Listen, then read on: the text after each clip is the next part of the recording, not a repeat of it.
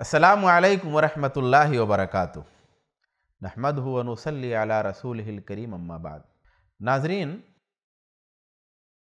इखलास और रिया जो है ये शरीयत इस्लामिया में बहुत ही अहम मौजू है और इसके हर हर पॉइंट पे हर हर पहलू पे ने बहस किया है गुफ्तु किया है कुरान हदीस की रोशनी में तो मैं इसी हवाले से कुछ बहुत ही अहम पॉइंट्स आपको बताना चाहता हूँ कि बाज़ दफ़ा ऐसा होता है कि इंसान सोचता है कि वो मुखलिस है, या लोग सोचते हैं कि वो मुखलिस है, मगर हकीकत में वो रियाकार होता है।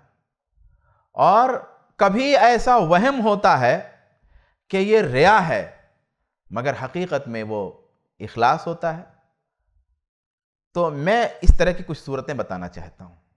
मिसाल के तौर पे एक आदमी है जो लोगों को नहीं बता रहा है कि मैं फला खैर कर रहा हूँ, फला बेहतरीन अमल मैं कर रहा हूँ, फला बेहतरीन अमल मैं करने जा रहा हूँ, ये लोगों को नहीं बताता। लायुरीदुल इत्तला।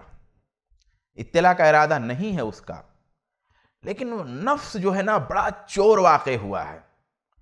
बड़े पोशीदा ढंग से जो है, शैतान वहाँ तक पहुंचाता है इंसान को। तो इत्तला तो नहीं कर रहा।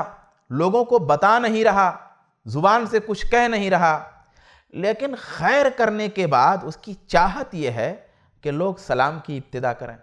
जब वो निकले तो लोग, अस्सलाम वालेकुम रहमतुल्लाहि बरकातहू शेख, खैरियत।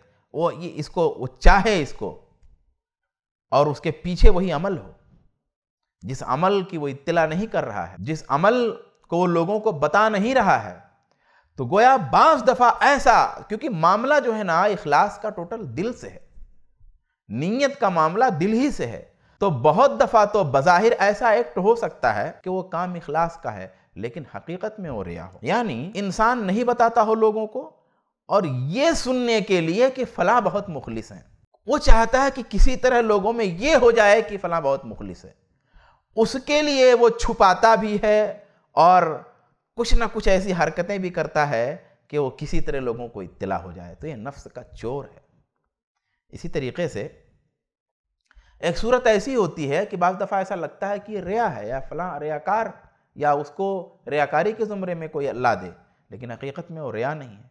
जैसे किसी ने कोई अच्छा काम किया, बेहतरीन काम किया, लोग उसकी तारीफ़ कर रहे हैं, लेकिन दिल के किसी भी गोशे में वो ये नहीं ला रहा है कि लोग उसकी तारीफ़ करें। और लोग उसकी तारीफ़ करते हैं तो अल्लाह से दुआ करता है कि अल्लाह तबारक ताली मुझे रिया से बचाना, मैंने अमल तेरी खातिर किया है, तेरी रज़ा के लिए किया है।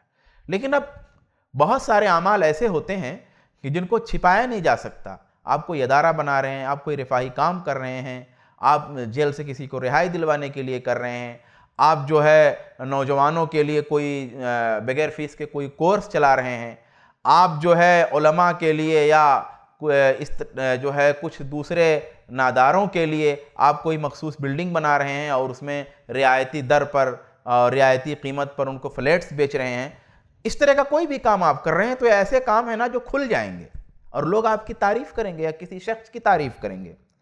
तो अब जो है, क्या वो रिया है? ज़ाहिर सी बात है, वो रिया नहीं है। भले एक आदमी या कोई या कुछ लोग या चंद लोग उसके बारे में रिया वाली बात कहें। मगर ज़ाहिर सी बात है, इस वजह से वो रियाकार नहीं हो जाएगा, क्योंकि नीयत का ताल्लुक दिलों से है। इसी तरीके से बाज दफ़ा ऐसा होता है कि इखलास का शुबा होता है। यानी कि कहते हैं कि तरकुत्ताती खौफ मिन रिया, कि यतात को छोड़ देना रिया के खौफ से इखलास नहीं है।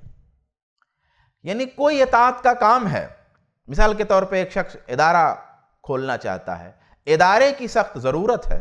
मगर जहाँ इदारे की सख्त ज़रूरत है, इदारा इसलिए नहीं खोल रहा है सख्त ज़रूरत के बावजूद। किसी एरिए में, किसी जगह में कोई शख्स, इस तरह की चीज़ें तो तजर्बे और मुशाहदे में हैं कि लोग ये ना कहें कि ये तो जो है रियाकार है। ये इसलिए कर रहा है कि ताकि जो है इसकी रोज़ी रोटी अपनी चले। ये इदारा इसलिए खोलने जा रहा है ताकि इससे कमाई करे। तो लोगों की इन बातों के डर से लोग इसको रियाकार ना कहें, लोग इसको हरामखोर ना कहें, इस डर से इतात का एक काम जो वो करने जा रहा था, छोड़ दे, ये इखलास नहीं है। ये इखलास नहीं है, बल्कि कहीं ना कहीं ये रिया से जाके मिलने लगता है। तो ये रिया और इखलास से मुतल कुछ पोशीदा उमूर थे। इसी तरीके से मैं बात ख़त्म करते करते कुछ इखलास के आपको दर्जात बता दूँ। इखलास का एक दर्जा ये है कि जब कोई अमल आप कर ले तो आप ये सोचें और इस बात पर शुक्र अदा करें कि अल्लाह तबारक व ने आपको इस अमल की तौफीक दी। ये जज्बा आपके अंदर आना चाहिए। ये जज्बा नहीं आना चाहिए कि मैंने उसके साथ ऐसा किया, मैंने उसके साथ ऐसा खैर किया। लोग तो नहीं किए, नहीं। ये आपके दिल में आना चाहिए कि लोगों को अल्लाह ने तौफीक नहीं दी, अल्लाह ने मुझको तोफीक दी खैर की। अगर इस तरह का ख्याल आपके अंदर आए और आप लाने की कोशिश करें तो ये इखलास का एक दर्जा है। इसी तरीके से इखलास का एक दर्जा ये है कि आप अपने अयूब का मुताला करें, अपनी कोताहियों पर नज़र रखें, यानी कर रहे हैं खैर का काम, मगर खैर के उस काम में कहीं साहो तो नहीं हुआ। कहीं गलती तो नहीं हुई, कहीं इरादे में कोई खोट तो नहीं है, कहीं उस खैर के करने के बाद अपनी तरफ़ से कोई शर तो नहीं ज़ाहिर हुआ। इस पर नज़र रखते रहें।